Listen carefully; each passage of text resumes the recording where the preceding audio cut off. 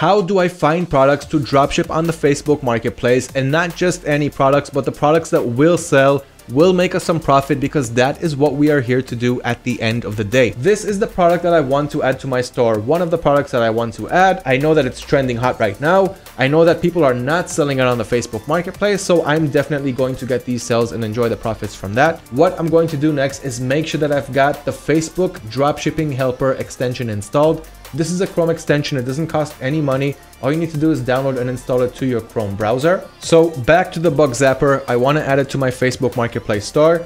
There are a couple ways to do it. The first one is to click on the import to AutoDS button. This button over here will always be on top of the product titles inside the product pages. And the reason I'm seeing that is because I also have the AutoDS Dropshipping Helper Chrome extension installed. So that is another Chrome extension that will help you while you are dropshipping. So we've got two extensions overall, the Facebook Dropshipping Helper extension and the AutoDS Dropshipping Helper extension. Each is responsible for its own tasks. So in this case, one extension is giving me this button over here. That's the AutoDS Chrome Dropshipping Helper extension. And the other extension will simply help me copy the products to the Facebook Marketplace. So one way to import this product is by clicking on this button and that will simply add this product to the draft section of my AutoDS store and then through AutoDS I will import it to the Facebook marketplace. That is the simple way to do it. The other way to do it is to copy the buy URL or ID. Make sure that you've got your Facebook marketplace account active on AutoDS let me show you how you can do that so that you can really automate your store, add products in just a couple of minutes instead of taking much more time than that, and also automating your price and your stock monitoring so that if something goes out of stock on your supplier side, the product will also go out of stock on your Facebook Marketplace store. And if there are any price changes, the price will also change accordingly on your Facebook Marketplace store and on your AutoDS account. This is a must for anyone who wants to have lots of listings without refreshing their suppliers pages every day to see what's going on with the stock and the prices. Those people who really want to scale and make great profits, it cannot be done without automation. So this is how it is done. First, let's head to the AutoDS platform. If you don't have an AutoDS account, simply head to autods.com register for your account, get your one week for only $1, give it a try and see if you guys like it. I'm sure that you're going to like what you see, especially when you learn how to dropship the right way. So first things first is you want to make sure that you have your Facebook Marketplace subscription active. So once you're inside, click on settings on the left side, then go to plans and add-ons. And here make sure that the Facebook Marketplace plan is active. Once you do that, on the left side, once again on top, click on your stores or click on add store if you don't have any stores yet. Then click on add store right over here. And you'll have an option, an eBay store, Shopify store, or a Facebook store. In this case, we are going with the Facebook selling channel. So click on Facebook store, enter your store's name. And I won't do it now because I already connected my store, but just continue with the setup process. It's actually very simple. And once your store is added, you'll be able to see it right here on the left side.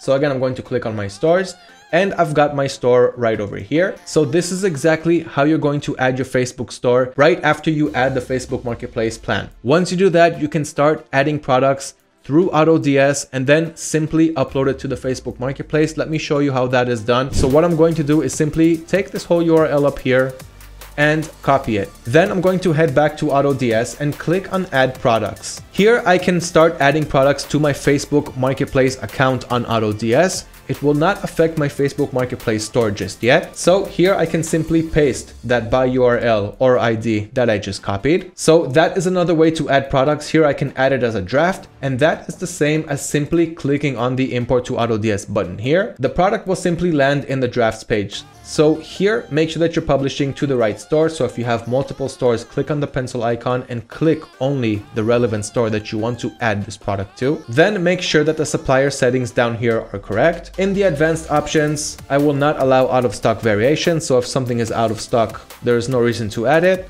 There is also no reason to upload variations because it is not supported on the Facebook Marketplace just yet. We don't need to autofill the brand. That's it. So in this case, I'm not going to accept any advanced options and I'm going to add this product to my draft page. So let's click on add as draft. Now it's being added as a draft. Click here to track the progress. So let's give it a couple of seconds to add that product to the draft page. I can click here on view details and check out the upload process, the import process, how long it's going to take to complete. So let's just give it a couple of seconds and see what happens. Okay, now the process is complete.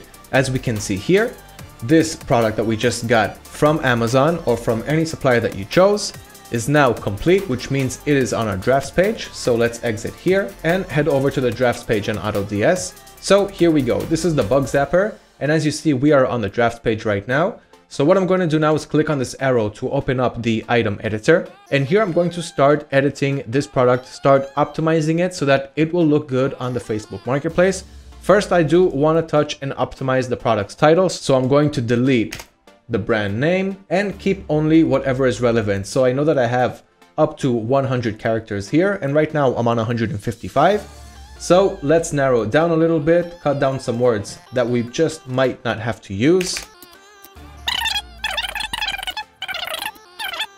So here we have a good optimized title for this product. The keywords are good, they're relevant. So the first thing that I'm going to pay attention to here is the product's title. I can also optimize it on Facebook, but it'll be much easier and better to do it from AutoDS first. Next, we've got the product's description. This one we're going to optimize on the Facebook Marketplace anyway, because we're probably going to have some spacing issues over there. So let's skip that for now, or you can go ahead and edit it if you want. But in any case, we are going to have to optimize it through Facebook anyway. So here we're going to click on save to save our changes so far. Now here we've got the variants and this is what you need to pay attention to. AutoDS is going to get all of the information from the product's variants and copy that onto the Facebook Marketplace. Let me show you what I mean. So we're going to click on edit on the variants and in the variant settings, you're going to have the pricing settings and the general settings for this variant. So let me show you exactly what I'm talking about. In the pricing settings, you have the fees, which is how much Facebook is taking from each transaction. And the answer to that is 5%. Let's talk about that one really quick. So for every transaction that you're going to get on the Facebook Marketplace, for every sell, Facebook is going to take either 40 cents or 5% from the transaction price, whichever one is higher. And as you can see here in the screenshot in front of me, I took this from one of the products that I sold on the Facebook Marketplace, which cost $2. So in this case, 5% was not as high as 40 cents. So in this case, Facebook took 40 cents. But as you can see, the selling fee is either 5% or a 40 cent minimum. In most cases, we're going to pass the 40 cent value. So we're going to get charged 5% for every transaction that we have on the Facebook Marketplace. So that is our break-even settings. So let's head back to AutoDS. And as you see here, the fees are correct. So in this case, if we're paying Facebook 5%, we want to make another 15% profit on top of that. So a product that costs $36.99, which is the case for that bug zapper, we're going to have to sell it for $44.78 in order to make a profit of $5.55, which is a 15% profit margin from the original price. Now AutoDS is doing all these calculations by itself, but what you do need to do is make sure that the fees are correct. So you can either edit them here in the edit variants page, or you can go to the settings on AutoDS. So let me exit here for a second, click on settings, and in the store settings, make sure that you have your Facebook store selected. And in the supplier, make sure that the right supplier is also selected. You can add more suppliers if you want to add more supplier settings in advance. So as you see here, we've got all of the 25 suppliers that AutoDS supports today. In this case, I'm going to stick with Amazon because that's where I'm adding this product from. So here I'm telling AutoDS every time I add a product to the Facebook store from Amazon, here are the pricing settings that I want. So I'm going to click on the pricing tab. And as you see here, the fees are 5%, which is exactly what we just saw in the variant settings. Additional profit in percentages, 15%. Additional profit in dollars, you can do that too if you want. And you've got more pricing settings and pricing automation if you want that done for your Facebook Marketplace store. But that is not really relevant for now. Let's go back to the product in the drafts page. Open the editor again. As you can see, the title stayed as I optimized it before. The description too. I'm going to head back to the variants and click on edit. So we saw the pricing settings, everything over there looked good. Then you've got the general settings, which has the item weight, the buy ID from our source, which is Amazon in this case from the United States and so forth. So once again, the only thing that I did up until now was get a product from the supplier and add it to AutoDS by clicking on add products and pasting the buy URL or ID then adding it to my drafts page. I went to my drafts page, optimized the title, optimized the description a little bit, and I went to the variants over here, to the variants column. The next thing that I'm going to do is you see this icon over here to copy. I'm going to click on that. You see here it says copy to clipboard. So I know that everything inside this variant was just copied to my clipboard. Now I can easily list it on Facebook. Let's see how that is done. So here is my Facebook Marketplace account, which I promised you guys I will give you guys a glimpse. So here are some of the products that I'm selling. Let's get to that in a second. Right now, we are creating a new listing, so I'm going to click on create new listing. Then I'm going to click on item for sale. Now, remember that I talked to you guys about the categories that you cannot drop ship, products that you should stay away from. If that is still lingering around in your minds, don't worry if you're a beginner. Start adding products to your store. Add those bestsellers that I showed you guys. Get it from any one of the suppliers. And if you're trying to import a product that is not allowed to be resold, AutoDS will give you a warning that something is wrong with this product, whether it's the manufacturer, whether it's the brand, or maybe it's a little keyword inside the product description which isn't so important, you can just delete it and move on. But that will give you a much better idea of what you can and what you cannot dropship. So pay attention to those error messages when you're importing products that you are not allowed to resell. And that should give you another layer of protection from knowing what you can and what you can sell and not worrying about importing products that you cannot resell. Now let's go back to this. So what we did was we went to the variant and we copied the variant settings after optimizing it on AutoDS now we want to list it on the Facebook Marketplace. So we headed on to Facebook to the Marketplace. We clicked on create new listing. And as you see here, we can start adding all of the listings properties, but instead of copying the title and moving all of the images and the prices and the description and everything else that comes along with it that will take so much time,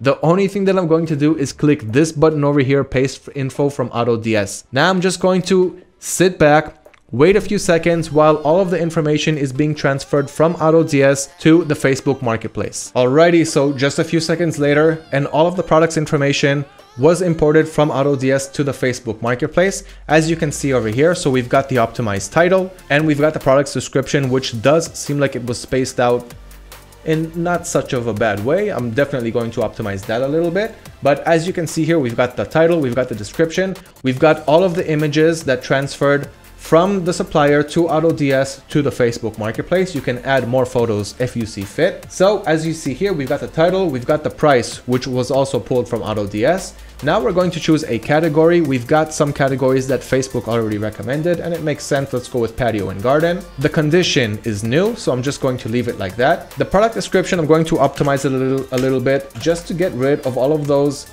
extra spaces that Facebook adds in just to make it look better for the customer. So if you look on the right side, you can see that slowly the product description is looking better and better. Continue deleting all of those empty spaces and make your listing look optimized so that your customers will know exactly what they're seeing. They, they'll know exactly what they're buying. It won't look amateur. It won't look unprofessional. It'll look like a real store or a real business that's trying to sell their products and high quality products at that. So fix all of this, make it look good, Continue scrolling down. Once you finish up with your product's description, you can add more variants if you see fit, but at this point, we're not going to do that. There is no variations for this product anyway. Then fill in the rest of the information that was not filled in automatically, like if you got a color, I don't recommend using any brand, so just keep it like that. You can write branded if you want or unknown. This way it'll make it harder for them to simply search for the same product using other suppliers. Most won't do it, but even those that do, it'll be much harder for them to do it now. Then your material and the SKU if you have it. And once you are done with that, you're going to click on next. Now here is something that's important to talk about, the location. The location, you can use any location in the United States because what I just did was I took, I took a product from the US and I'm shipping it to the US. Now this is really important because on the Facebook Marketplace, you want to ship out your products on time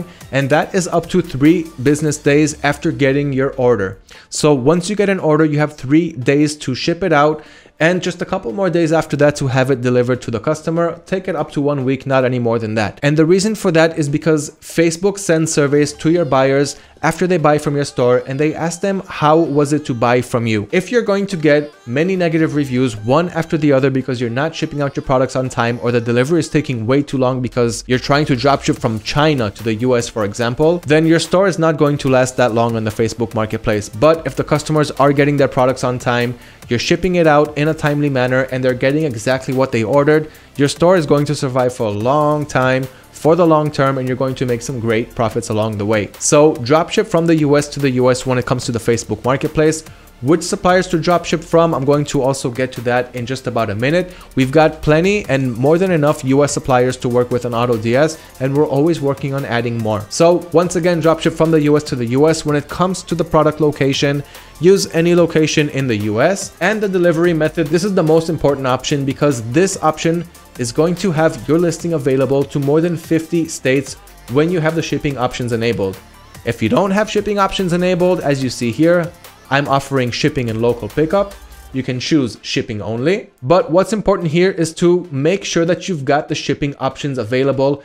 And that is because once again, it's going to show your listings to 50 states. So, so many people are going to see your listing and so many people are going to be able to buy from you. If you don't have shipping options, that's probably because you're not located in the US. And as I've mentioned in the beginning of this video, you have to be located in the US, have a US IP address and have a social security number ready because once you hit $500 in sales, Facebook is going to ask for a social security number verification and you're going to have to pass that too if you want to keep selling on the Facebook marketplace. So shipping options so that many people will see your listing and that it will succeed in selling and you will make profits at the end of the day. Shipping method, you want to use your own shipping label. So make sure that you're going to click on use your own shipping label. Shipping rate is going to be free free shipping for our buyers because we are drop shipping from places where shipping is either free and even if it's not free then in the pricing settings on AutoDS where I showed you guys a couple of minutes ago you have the option to include shipping price. And that means that if your supplier is charging X for a product and another Y for shipping, AutoDS is going to combine those prices together and make sure that you're going to profit your 15, 20, 30, 40%, whatever you have set, even with that shipping price. So you'll always be able to offer free shipping. And therefore, in this case, you're going to turn on free shipping for buyers. Okay, so everything here is set. We're going to click on next. And last but not least, Facebook is asking you, do you want to list this product to some of the buy and sell groups that we see that you joined? And in other groups that we see that you haven't joined, maybe you want to list that product there too. So this is a great way to get more organic traffic, more people to see your listing. So I definitely recommend to add it to buy and sell groups. So make sure that you read the rules before you join. And once you join those groups, start listing that product in those groups too. And that way you'll simply get more people to see your listing. Okay, so in this case, I'm going to leave it as is. And right before I click on publish, I want to talk about this little drop down menu here for a sec because I didn't talk about it before. Right now, I don't have any products on this drop down menu, but what this means is if you have products on the AutoDS system, like we see over here, this is all the products that I have on my Facebook Marketplace store.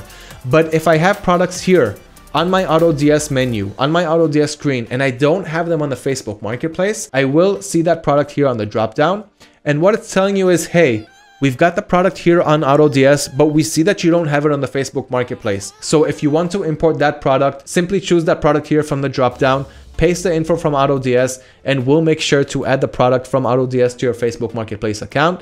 So that will simply help you synchronize your products and make sure that what you have on AutoDS, you also have on the Facebook Marketplace account. So that is how to find products from the Facebook Marketplace. Once again, 25 suppliers, millions and millions of products, simply add the best sellers. I showed you guys how to install the Facebook Dropshipping Helper extension. I showed you guys also how to use the AutoDS Helper extension if you want to import your products in just one click. Now let's go ahead and publish that product. So head back to Facebook. Everything here is correct. Of course, I'm going to optimize the description a little bit, but I just want to show you guys how it's going to be listed. So now I'm going to click on publish. Here are the steps once again. I found the product from one of my suppliers. I added it to AutoDS. On AutoDS on the drafts page, I optimized the product's title, the description, and then I went to the variant settings and I copied the variant.